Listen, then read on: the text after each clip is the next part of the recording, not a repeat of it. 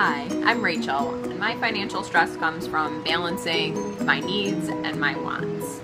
From making sure I'm paying for all the things that I have to pay for, and also making sure that I have something left over, not only for emergencies and retirement, but those things that relax and rejuvenate me and make me feel good and that are priorities of mine.